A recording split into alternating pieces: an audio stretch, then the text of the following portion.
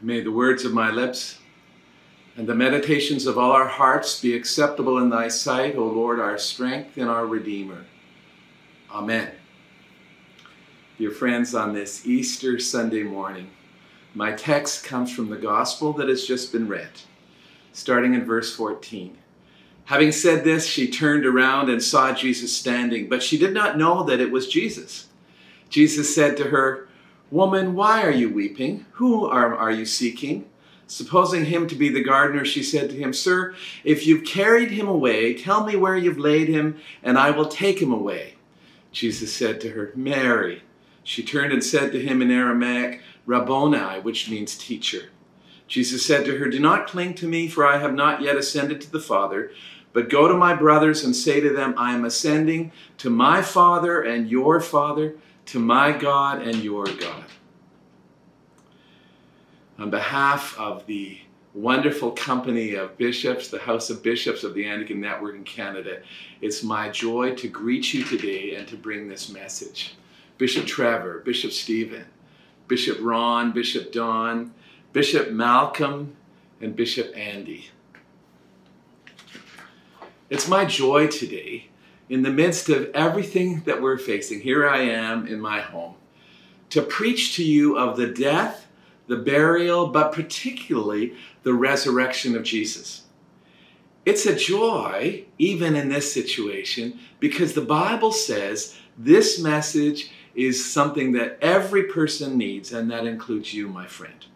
Let me say right now, lest in my Easter enthusiasm, I lose you along the way that the message today that we have exclaimed with joy, Alleluia, Christ is risen, he is risen indeed, Alleluia. Make no mistake, he who died, died for you.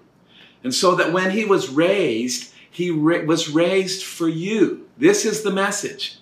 The gospel is for you, my friend, and you need this message. In fact, writing of the resurrection of Jesus, the Apostle Paul said, Now I would remind you, brothers, of the gospel I preached to you, which you received, in which you stand, and by which you are being saved, if you hold fast to the word I preached to you, unless you believed in vain.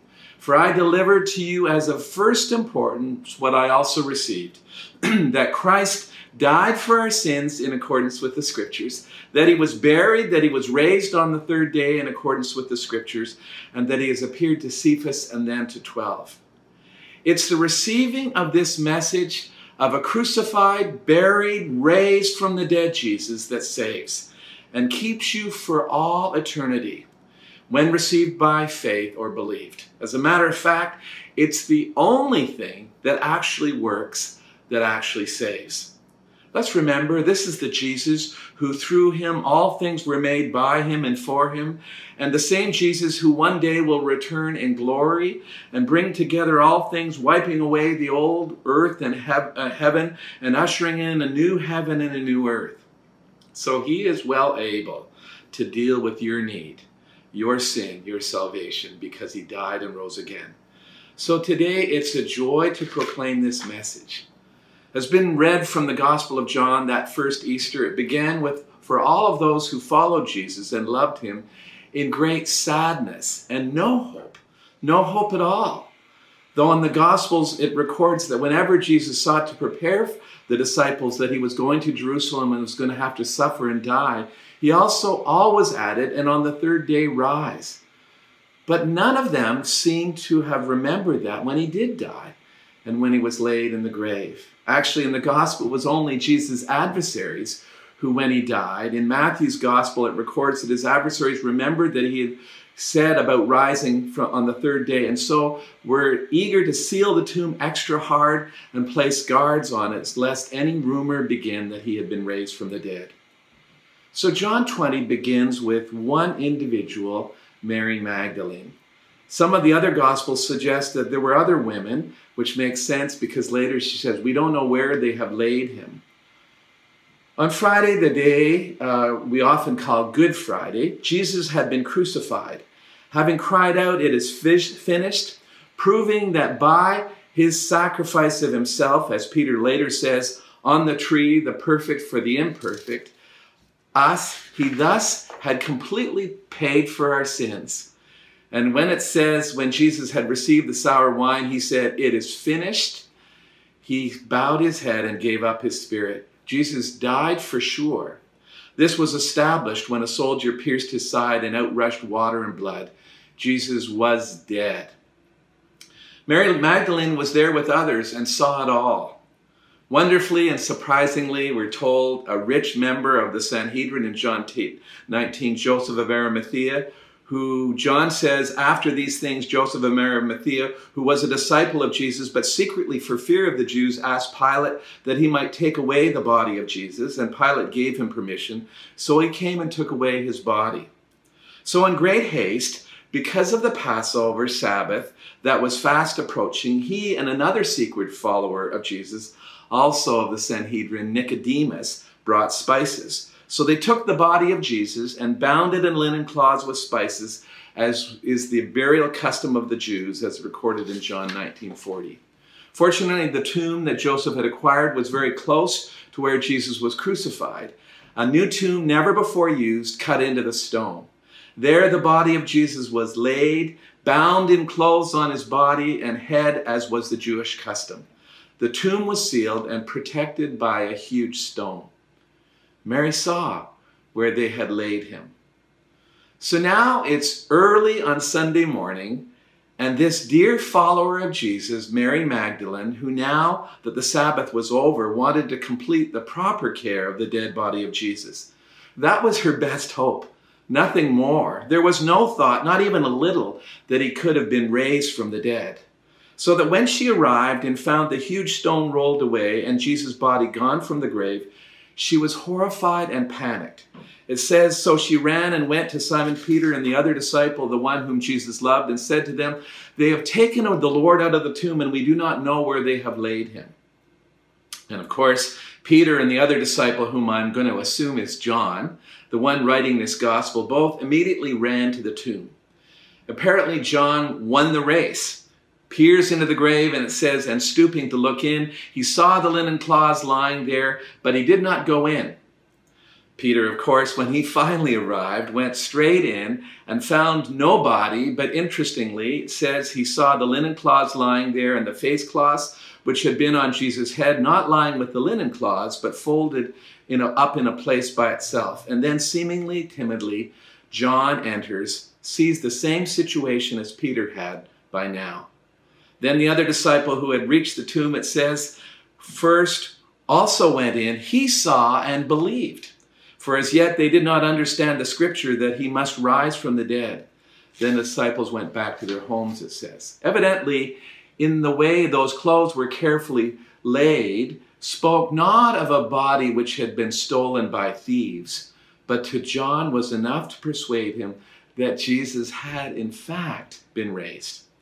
Interestingly, it says, For as yet they did not understand the scriptures, scriptures like Peter later said, quoting on Pentecost Day uh, from Psalm 16, 8 to 11, God raised him, speaking of Jesus, up, loosing the pangs of death, because it was not possible for him to be held by it. For David says concerning him, quoting in Psalm 16, I saw the Lord always before me, for he is at my right hand that I might not be shaken. Therefore my heart was glad and my tongue rejoiced, my flesh also will dwell in hope. For you will not abandon my soul to Hades or let your Holy One see corruption. You have made known to me the paths of life. You will make me full of gladness with your presence. When Peter and John left, John believing, though as yet he had not seen the risen Lord, and Peter holding on to disbelief, which was very understandable. There was Mary left at the grave in grief alone.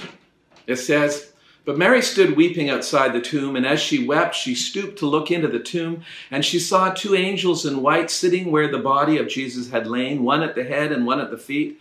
They said to her, Woman, why are you weeping? She said to them, They have taken away my Lord, and I do not know where they've laid him. Interestingly, even speaking with two angels who were standing in holy guard, one at the foot and one at the head, speaking to these angels did not have any effect on Mary, perhaps beginning to think that, that it's possible that the disappearance of the body of Jesus meant that he'd been raised from the dead. That didn't cross her mind. When asked by the angels tenderly why she was weeping, she only replied, They've taken away my Lord, and I do not know where they've laid him.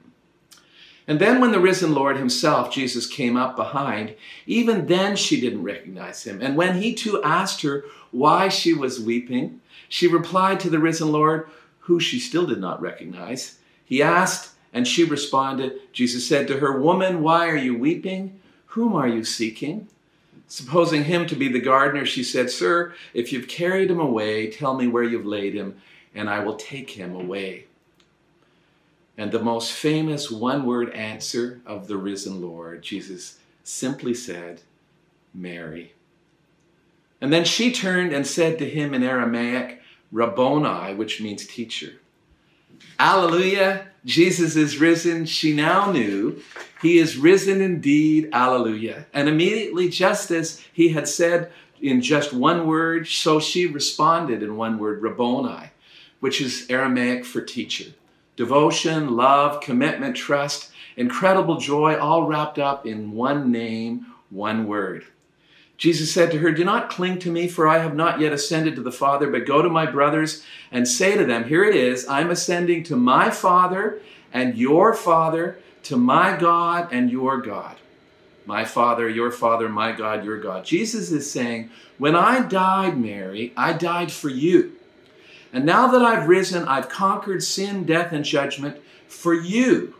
And now, because of me and through me, now truly, you have been brought into an eternal relationship whereby not only is God the Father, my Father in the Holy Trinity, but He's truly your Father too. Here's how the Apostle Paul put it But God, being rich in mercy because of the great love with which He loved us, even when we were dead in our trespasses, made us alive together with Christ. By grace you have been saved, and raised us up with him, and seated us with him in the heavenly places in Christ Jesus, so that in the coming ages he might show the immeasurable riches of his grace and kindness towards us in Christ Jesus. For by grace have you been saved through faith. And this is not your own doing, it's a gift of God. My friend, whoever you are, wherever you are. It's interesting that, for instance, the governor of New York said that this disease is the great leveler.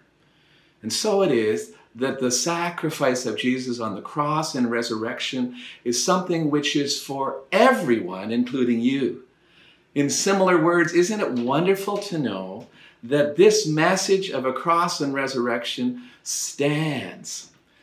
Paul says, For I'm not ashamed of the gospel, for it's the power of God for salvation to everyone who believes, to the Jew first and also to the Greek. Do you remember in that great verse in John 3:16, for God so loved the world that he gave his only begotten son that whosoever that means you, dear friend. So I want to encourage you today.